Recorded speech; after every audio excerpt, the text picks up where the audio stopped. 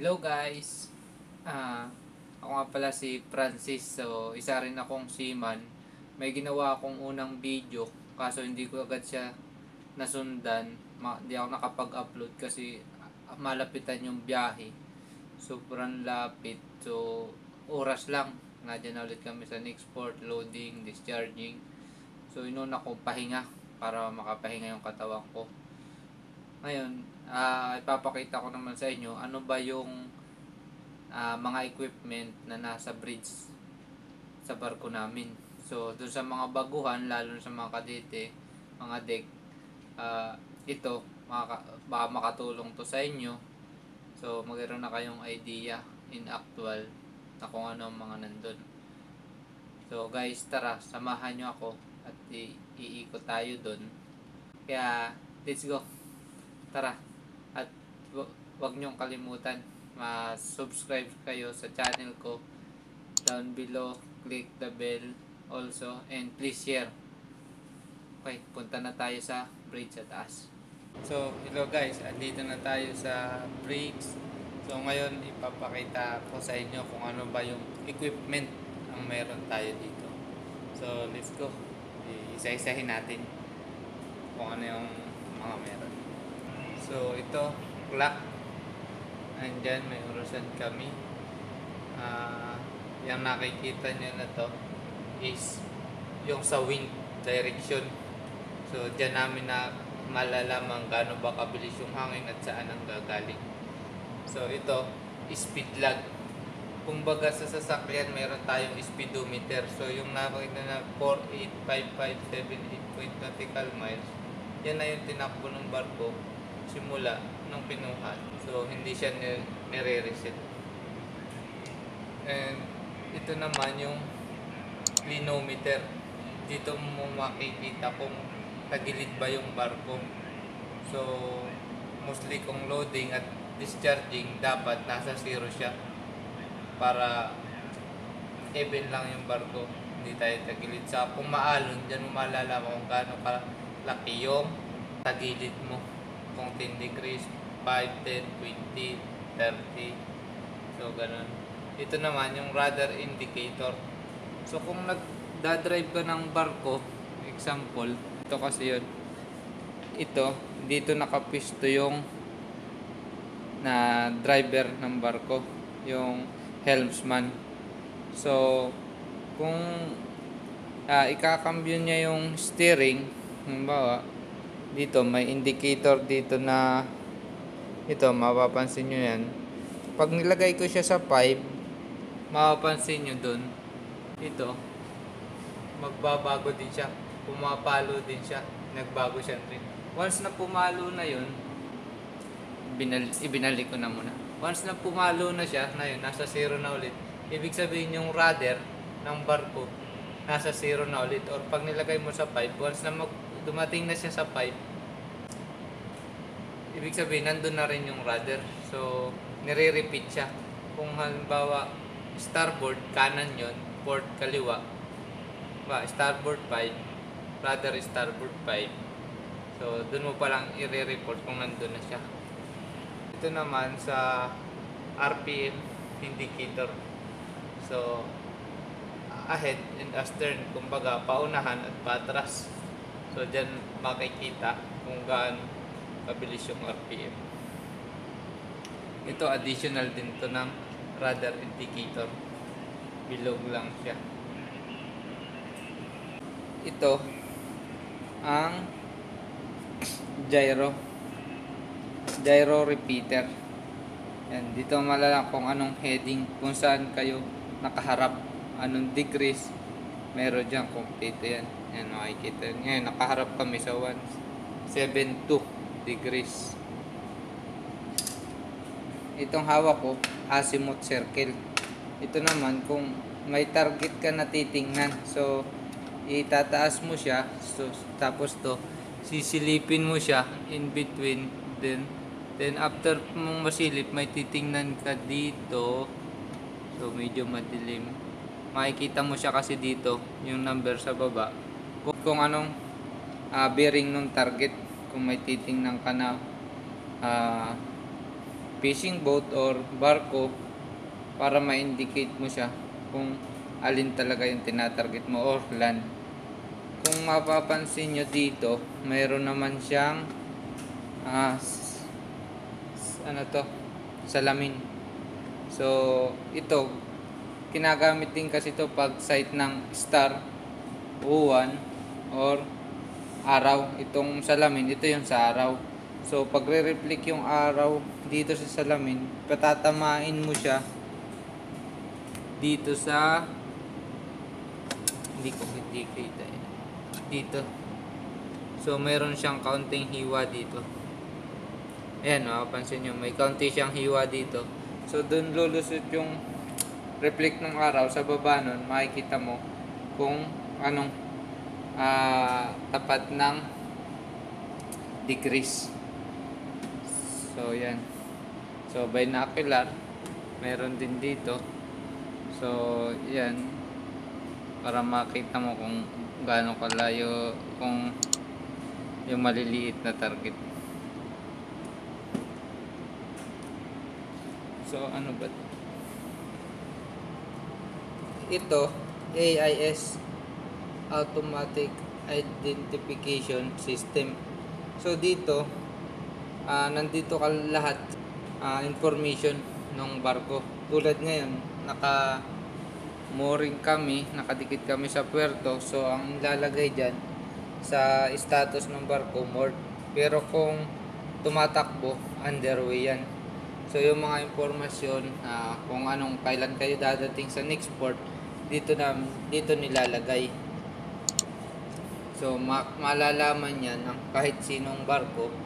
So, titingnan lang yung pangalan ng barko, nandito, tapos, oh, anong saan ang punta ng barko. Ayun, madidetect. So, ito naman, nakikita nyo, dalawa yan. Yan yung radar. So, ngayon, pag nasa puerto, pinapatay siya. Para mabawasan yung running hours. So, ayan, pinakita ko yung tumatakbo siya. So, ayan, makikita nyo, habang tumatakbo siya, andyan, kinunan ko na siya. Kasi sa, sa puerto, hindi kasi siya buhay. So, patay. Dalawa yan, radar. Ang radar, dyan nakikita mo yung target, lahat ng target. Pag may kinlik ka, dyan na target, makikita mo information niya, speed, distance, yung distance, kung siya makakarating sa bawat isa, kung siya magmimit, o an- gaano kalayo ang pagitan nyo. Andyan din sa radar. So, ito naman, meron kang BHF. Ito yung ginagamit ng sa communication. Mga pagtawag, ship to ship. Pwede rin siya, may distress din siya in case na emergency. So, ngayon, this na yung halos ginagamit. Andito yung mapa. So, nababago siya, gagalawin ko siya. Zoom in. So, niya. Kumbaga dati, ang ginagamit namin, paper chart. Ngayon, inalis na siya. So, ito na yung primary na ginagamit. Dalawa yan, may backup lagi. Ito yung isa. Parihas lang sila. Kung anong nandun sa kabila, siya, nandito rin. Papansin nyo, yung itong guhit na to, itong guhit na to, may cursor, ito, yan yung pinaplat para kung saan kami dadaan. Navigating officer ang gumagawa niyan. Ito yung ah, steering kung saan yung AB, Able Seaman, siya yung nagdadrive. Nag, may mga function siya dito. Makita nandito yung parehas dito. Ito, ah gyro. Yun yung mga repeater yung sinabi ko kanina sa harap. Ito, main, gyro 1. Nandito sa loob. So, ito may mga indicator siya. Kung autopilot, meron hand steering, manual. Kung auto, autopilot, ito lang, ililipat-lipat mo lang to kung anong gusto mong heading, pupunta na siyang kusa. Wala ka ng ibang, basta i-monitor mo lang siya, wala ka na ibang gagalawin. Kung hand steering yun, doon ka titingin sa, sinabi ko nga, doon ka titingin sa radar, radar indicator. Ah, ito yung main engine na telegraph. Ginagamit to para umabante yung barko. Halimbawa, ngayon naka-stop. Pag ginalaw ko siya ng dead slow ahead, so paabante yun, or slow ahead, half ahead, full ahead, kailangan mag-response ng makina para mag-engage. Saka pala siya aabante. Ganon din pag dead slow astern, slow astern, half astern, kailangan din mag-response. Kung ang control naman ay nasa makina, ganon din sa dito sa bridge. So kailangan namin sumunod. Ito naman yung control panel ng steering motor. May dalawa kaming steering motor. So dalawa, dalawa lagi yung bukas kung nasa channeling or congested area. Kung mag-trip man na isang motor, laging may backup. Bridge panel for main engine. Ah, andito lahat. Kung may mga alarm, may naka pangalan na dyan kung anong mga alarm magbiblink yan. So alam na agad. Pwede mo rin ay control dito. Emergency stop, shutdown, RPM, nandyan din. Meron kaming ah, banwas. Kung yung tao natutulog, hindi nagalaw, mag-a-alarm yung bridge. Ngayon dito sa amin, tinanggal na. So, kahit gumalaw ka, a-alarm pa rin siya. Kailangan pindutin mo yung mga button tulad nito. May button siya. So, ibig sabihin, kada 12 minutes, pindutin mo siya para hindi na para hindi mag-alarm. So, sa Inmarsat si nakaka-receive dito diyan sa printout na to ng mga distress message MHF control, NDBP terminal unit. Ito GPS. So yan yung kung nasan yung location namin. So ito yung eco sounder. Sumusukat siya ng ah, distance ng ilalim ng barko at ng lupa. So ngayon 6.7 lang allowance namin. Ito Navtec. So dito may mga ah, navigational warning din na kaming nare-receive. Ito naman yung weather pa facsimile or weather forecast na nare-receive namin dito kung may low pressure ba sa pupuntahan namin. So may printout diyan.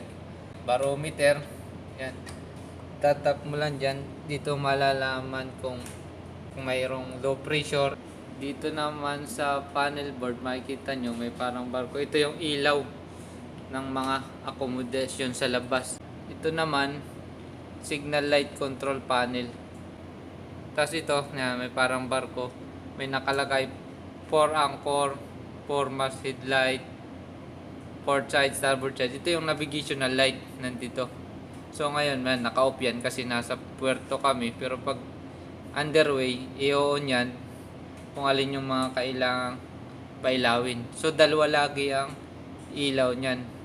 Kasi in case na ma-busted o mapundi ang isang ilaw, yung upper at upper lower kung tawagin, mayroon ka pang isang backup. Ito yung fire control panel. Okay guys, ayan, nasabi ko na lahat kung ano ang meron sa bridge namin, anong equipment ang meron sa barko. Kaya wag niyong kalimutan, please subscribe and click the bell and please share para sa mga susunod kong video mapanood nyo at matulungan natin lalo na yung mga bagong magsisiman at may mga tips ako abangan nyo sige salamat God bless